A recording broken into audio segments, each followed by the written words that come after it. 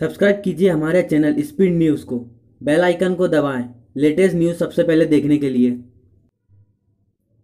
नमस्कार दोस्तों, मैं विक्रम शर्मा, आप सभी का स्वागत करता हूँ हमारे चैनल स्पीड न्यूज़ में।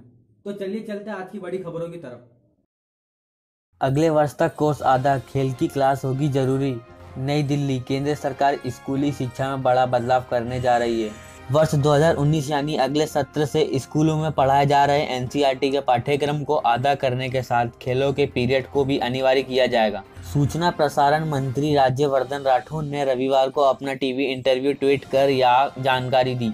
उन्होंने कहा, इस बारे में उनकी मानव संसाधन विकास मंत्री प्रकाश जावड़ेकर से चर्चा हो चुकी है। मंत्रालय स्कूलों का पाठ्यक्रम आधा करने की तैयारी में जुटा है। सरकार का मानना है कि पाठ्यक्रम छोटा करके वह स्कूलों में पढ़ रहे बच्चों के लिए खेलकूद और व्यक्तित्व विकास की गतिविधियों का बढ़ावा दे सकती देश भर में एनआरसी लागू करने की तैयारी में है केंद्र। नई दिल्ली केंद्र सरकार आसाम की तर्ज पर national register of citizenship, NRC, जैसी प्रक्रिया देश में बाकी राज्यों में लागू करने की तैयारी में है। केंद्रीय गृह मंत्रालय खुफिया रिपोर्टरों के आधार पर प्रस्ताव तैयार कर रहा है।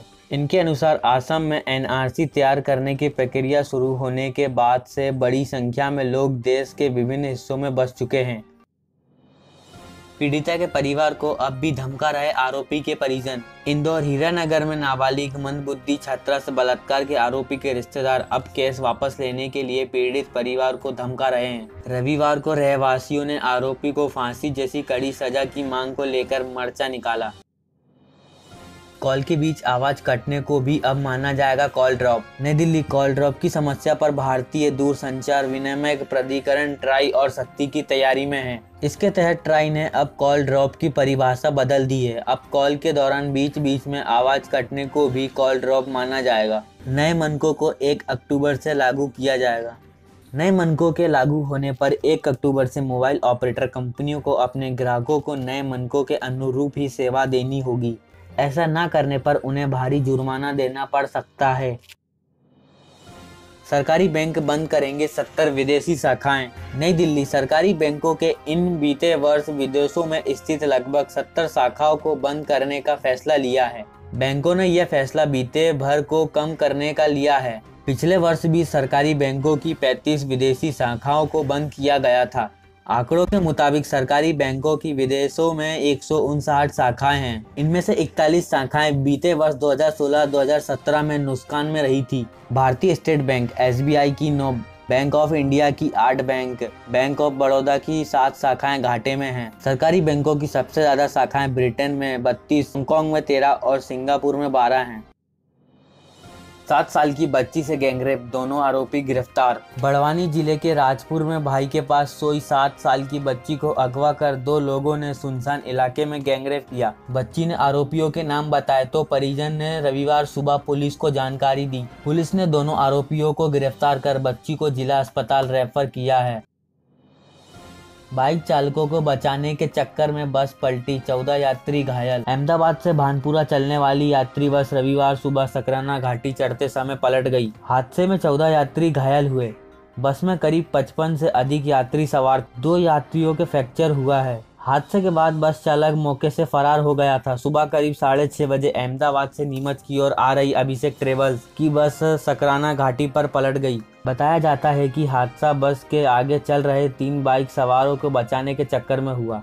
जैसे ही चालक ने बस को साइड में लिया, बस फिसलकर पलट गई। एक साथ चुनाव पर बहस, देश के लिए शुभ संकेत। नई दिल्ली, प्रधानमंत्री नरेंद्र मोदी ने रविवार को मन की बात में कहा कि देश में एक साथ केंद्र और राज्य के चुनाव कराने की चर्चा आगे बढ़ रही है। इसके पक्ष और विपक्ष में लोग अपनी बात रख रहे हैं। लोकतंत्र के लिए शुभ संकेत है। मोदी ने कहा कि स्वस्थ और उत्तम लोकतंत्र के लिए अच्छी परंपराएँ विकसित करना ज़रूरी है। ऐसी बहस होने, चर्चाओं को आगे बढ़ाना होगा। मोदी ने बताया कि इस बार सांसद के मानसून सत्र में अधिक काम हुआ है। इस सत्र में युवा और पिछड़े समुदायों को लाभ पहुँचाने वाले कई महत्वपूर्ण विधायक पारित हुए हैं। दशकों से एस सी आयोग की तरह भी ओबीसी की मांग हो रही थी। इस बार ओबीसी आयोग बनाने का संकल्प पूरा किया गया है। सिंधु और साइना ने रच दिया इतिहास। ओलंपिक रजत पदक विजेता पीवी सिंधु और राष्ट्रमंडल खेलों की स्वर्ण विजेता साइना नेहवाल ने 18वें एशियाई खेलों की बैडमिंटन प्रतियोगिता में रविवार को महिला एकल सेमीफाइनल पहुंचकर नया इतिहास रच दिया। सिंधु और साइना ने इसके साथ ही उन्नीस सौ बयासी के बाद पहली बार भारत को एशियाड में दो महिला पदक सुनिश्चित कर दिए। चांदी से चमके हिमा, दूती चंद और अंश भारतीय एथलेटिक्स की नई स्टार हिमा दास और मोहम्मद अंस ने 18वें एशियाई खेलों की एथलेटिक्स प्रतियोगिता में भारत की पदक संख्या को आगे बढ़ाते हुए 400 मीटर दौड़ते हुए रविवार रजत पदक जीत लिए। वहीं फराटा धावक दूती चंद ने 100 मीटर में चांदी दिलाकर देश का मान बढ़ाया।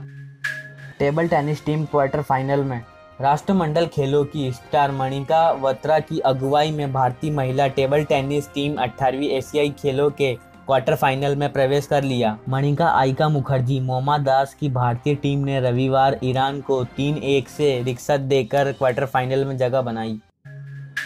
राहुल के कार्यक्रम में लगे खालिस्तान समर्थन के नारे। कांग्रेस अध्यक्ष राहुल गांधी के एक कार्यक्रम में शनिवार को यह तीन खालिस्तान समर्थक घुस गए और खालिस्तान जिंदाबाद के नारे लगाए। कुछ देर में ही स्कॉटलैंड यार्ड पुलिस ने उन्हें घेर लिया और उन्हें हॉल से बाहर कर दिया। घटना पश्चिम लंदन के राइसलिप में Indian Overseas Congress UK mega conference के दौरान हुई। हालाँकि ना, नारेबाजी दौरान राहुल गांधी मौजूद नहीं थे। वे करीब आधे घंटे बाद पहुँचे। बिकेगा राज कपूर को सोमेन बनाने वाला आर के स्टूडियो। मुंबई, बॉलीवुड की पहचान बना राज कपूर का आर के स्टूडियो अब बिकने की करार पर है। राज कपूर ने 70 साल पहले 1948 में चैम्बूर में यह स्टूडियो बनवाया था। राज कपूर के बेटे ऋषि कपूर ने परिवार को इस फैसले की जानकारी दी है। चुनाव में सोशल मीडिया का दुरुपयोग नहीं होने देंगे प्रसाद। केंद्र सरकार ने दावा किया है कि सरकार चुनाव के दौरान सोशल मीडिया का दुरुपयोग नहीं होने देगी। सूचना और प्रौद्योगिकी मंत्री रविशंकर प्रसाद ने साफ़ कहा है कि भारत ने सोशल मीडिया प्लेटफॉर्म डेटा के कथित दुरुपयोग को गंभीरता से लिया है। ऐसे प्लेटफॉर्म का इस्तेमाल कर चुनावी प्रक्रिया की प्रभावित करने की अनुमति कतई नहीं दी जाएगी। छप्पन साल पुरानी फरारी कार 348 करोड़ में बिकी। लाल रंग की छप्पन वर्ष पुरानी फरारी कार एक मॉडल को नीलामी के दौरान 348 करोड़ रुपए की बोली लगी। ये 250 जीटीओ उन्नीस सौ बासठ के मॉडल की कार थी। नीलामी में बिकने वाली गाड़ियों के मामले में ये अब तक की सबसे महँगी कार है। ये कार माइक्रोसॉफ्ट के पूर्व क्रमी ग्रेग विटन की थी। जिसे उसने 2000 में खरीदा था। खबरों के मुताबिक ग्रेक ने इसे 70 करोड़ रुपए में खरीदा था। सो so, दोस्तों आप सभी का इस न्यूज़ के बारे में क्या सोचना है आप हमें कमेंट करके बताइए। साथ ही इस वीडियो को लाइक करिए शेयर करिए और हमारे चैनल स्पीड न्यूज़ को सब्सक्राइब करना बिल्कुल ना भूलें। Thank you